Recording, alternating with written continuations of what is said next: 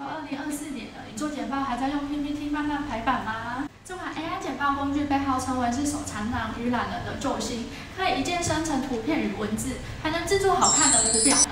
但是它真的有人家说的这么厉害吗？难道都不存在缺点吗？别急，影片最后会教你第一个 AI 工具来弥补 AI 简报的不足。今天我就来介绍这款不论是上班族、学生党必备的高效简报生成器 Gamma。那我们接下来就来看看吧。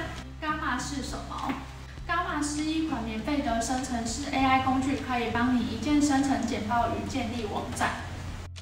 从内容到排版，再到视觉化图表伽马都可以轻松帮你做到，甚至连素材都不需要自己准备。伽马简报教学伽马建立简报的方式总共有两种：新建和从头开始建立。这个功能比较像 PPT，所有的内容都是要自己输入。不同的是，我们不需要自行排版，只需要点击卡片空白处，下排就会推荐排版范本，也可以到范本库去寻找你喜欢的排版样式。如果素材库没有喜欢的排版，还可以到产生输入主题，让 AI 帮你创建一个包含内容的范本，非常的节省时间。新建就是让 AI 帮我们生成简报，也是大卖主打的特色。我们就以 COVID-19 对台湾产业的影响作为示范。我们进入首页，点击新建，贴上文字与汇录档案，都是将现有内容转换成简报。产生则是将简报从无到有创建出来。所以我们就来试试看，直接生成一个海报吧。第一步，设定主。点击产生后，第一步会需要你输入简报主题与卡片张数。免费版最多可以生成十张卡片。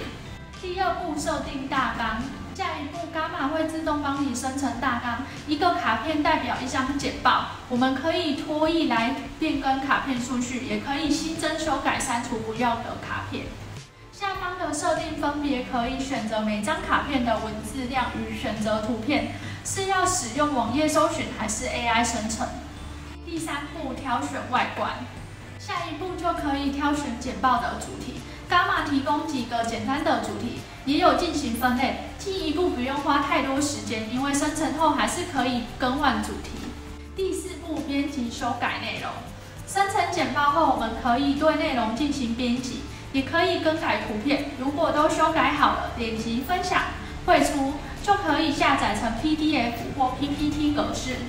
以上就是 Gamma 生成简报的步骤啦。看到这里，你一定会觉得 Gamma 好像没有大家说的那么厉害。别急别急，接下来我就来说明 Gamma 的强大之处。Gamma 特色一，Gamma 拥有丰富的图片、影音素材，不但提供线上图库 Unsplash 与网页搜索，新版本更是增加了 AI 生成的功能。提供了多种版本的范本与图表，只要点击拖曳就可以添加成功。Gamma 允许卡入多种第三方的服务，可以直接将网页、应用程式、YouTube、Spotify 等卡入简报中。像是我可以直接展示 j a p 的官网，而不只是一张图片或链接，因此提升了简报的多样性与读者的互动体验。最后，如果以上的功能对你来说还是太麻烦，点击右侧功能排第一项，使用 AI 编辑，可以透过对话的方式来让 AI 帮你编辑简报。你看，我如果想要修改内容，只需点击卡片，告诉 AI，请让内容更专业，它就会完成你的吩咐，是不是非常厉害呢？简直是为懒人而生的救命法宝！而且目前为止，我使用了那么多功能，完成了两三个简报，还有剩下两百五十点的生成点数，完全不像其他 AI 工具的免费试用，只愿意给小小的扣打，根本不过瘾。所以还真的蛮推荐大家去试用看看的。当然了，Gamma 还是存在一些可以加强的地方，像是 Gamma AI 生成的内容可能会存在版权问题，或者是资讯错误。还有目前使用下来 g a a 网络抓取或是自行生成的图片，常与主题不相关，或是画质模糊的问题。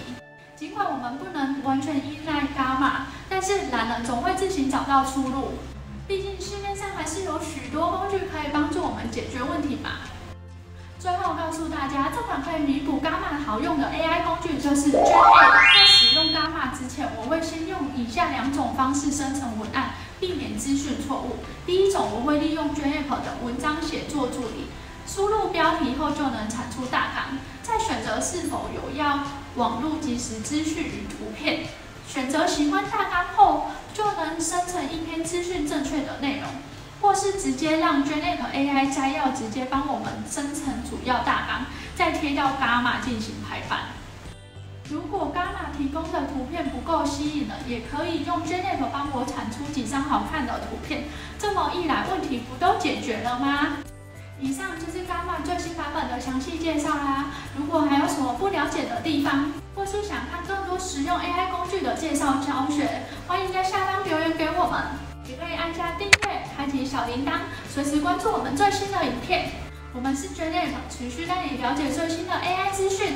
那我们下次再见喽。